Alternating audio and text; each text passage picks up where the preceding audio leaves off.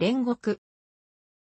煉獄、煉獄とは、カトリック教会の教義で、この世の命の終わりと天国との間に、多くの人が減ると教えられる清めの期間。カトリック教会のカテキズムでは、神の恵みと神との親しい交わりとを保ったまま死んで、永遠の救いは保証されているものの、天国の喜びに預かるために必要な生成を得るように浄化、目の苦しみを受ける人々の状態と説明する。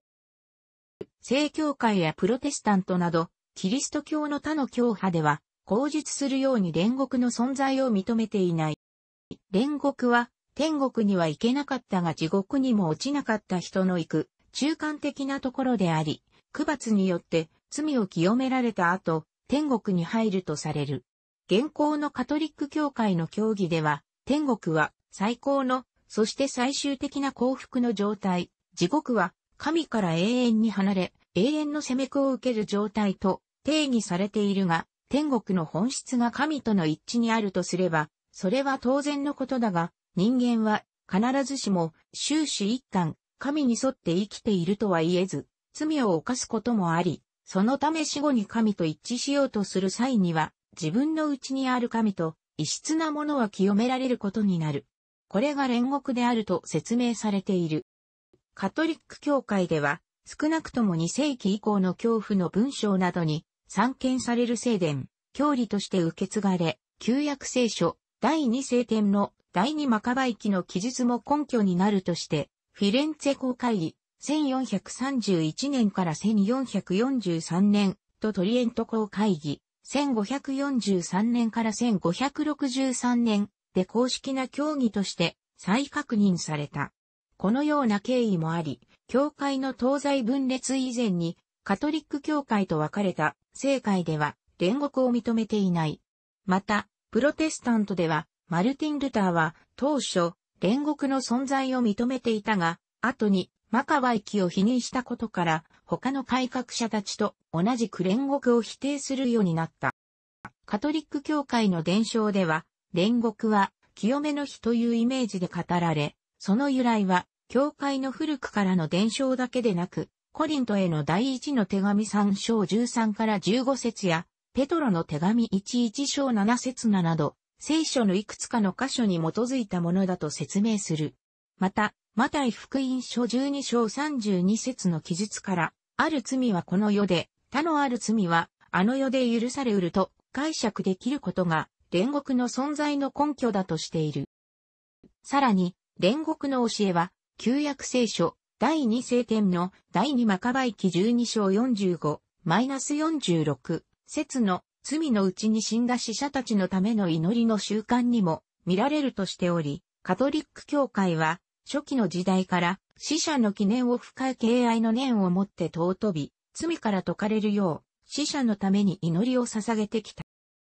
上日のマカバイ書の記述は、直接的には復活と大祈りの有効性を認めたものだが、間接的には中間的状態を認めたものと言える。なぜなら、後の世で復活前に補うものがなければ、信者の大統には意味がないからである。こうした煉獄の教義を決定的にしたものは、カトリック教会における聖伝であり、聖伝は常に煉獄の教えの根本的要素、死後のための清めの必要なことと、死後の大祈りの有益なことについて、確信を持っていた。ユダヤ人は、祖先崇拝はしなかったが、敬愛の情をもって、死者を弔い、死者のために祈る習慣を、キリスト信者に伝え、これは、信者の大統によって死者が完全に清められるという信仰を仮定したものであった。パウロが自分を存命中、助けてくれた一名の信者のために祈り、裁きの日に憐れみを垂れてくれるよう主に願ったのも、そうした古い習慣による、2手モテ1.16以下。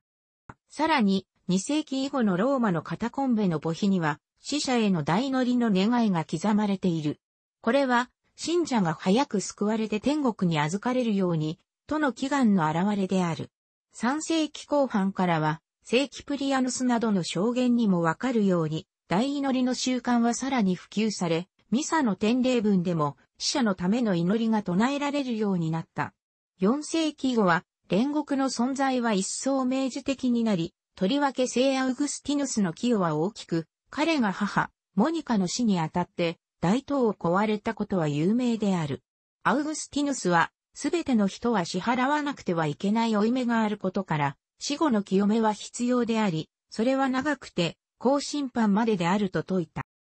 上述したような根拠、経緯から、信者は、煉獄の霊魂のために祈り、死者のための施しや弁償、償いの技を行うように進められており、それによって、煉獄の霊魂、清めの状態にある死者は救わると教会は教えている。このように教えるのは、煉獄の霊魂は、すでに人生を終えており、時間という自由な機会を失っているため、自分の力では脱出することも、苦しみを緩和することもできず、まだ時間という苦毒を積む機会を持っている現世の人に、より頼むしかない、とするからである。ただし、煉獄の霊魂は、神を心から愛していて、天国にいずれ達することが確実であるため、その苦しみは大きいが、心の平安と喜びを乱すものではなく、また、苦しむ教会の一員として、煉獄の霊魂は、地上の人のために、神に願いを取り継ぐことができる、とされる。そのため、地上の信者は、煉獄の霊魂に、祈り、取り継ぎを願うよう進められている。なお、殉教者は煉獄を経ないで、直接天国へ行くと考えられ、また洗礼、許しの秘跡、罪の償い、善行は、煉獄での償いを減免すると教える。こうした経緯から、カトリック教会では、聖人以外の少なからぬ善人が天国ではなく、煉獄に行ったと教え、そうした教理に基づく多数の原子、私的刑事が伝統的に存在してきた。例えば、ファティマの聖母を見た副者ジャシンタ・マルトラは、聖母から友達のアメリアは世の終わりまで煉獄にいると告げられたとしている。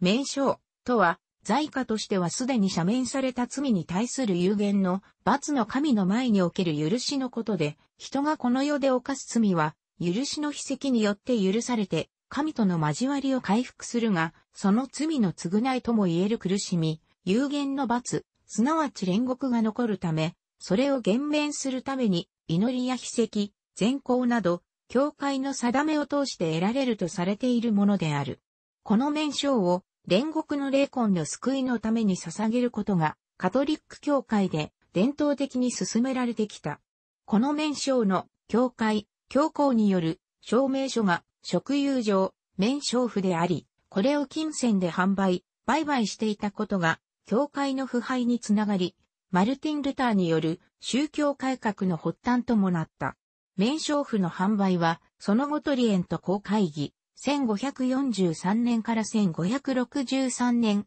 で廃止された。このように、カトリック教会では煉獄にいる死者のために祈りなどを行う伝統があったが、プロテスタントの諸教派では、当初は、ルターのように煉獄の存在を認める恐怖もいたものの、マカバイ記の聖書聖典としての疑義や、またルターが職有上、免償符の売買に対して疑問を投げかけたことが、宗教改革の発端の一つとなったという歴史的経緯などから、煉獄の概念を否定した。マカバイ記への疑義に対して、カトリック教会は、マカバイ記をタルムードの著者たちやユダヤ人歴史家、フラウィウス・ヨセフスも聖書として疑っていなかったこと、ユダマカバイによって規定された、ハヌカ、光の祝いを、キリスト自身も行っていること、アウグスティヌスやインノケンティウス一世など初代教会の恐怖たちも聖典と宣言していることなどから、旧約聖書に含めている。また、聖教会にも死者のために祈るパニヒダという伝統があるが、聖教会における昇殿には煉獄はないとする理由から、また、読みと天国の間には大きな淵があるという見解から、ルカによる、副書16章26節、正教会では、煉獄の存在を認めていない。楽しくご覧になりましたら、購読と良いです。クリックしてください。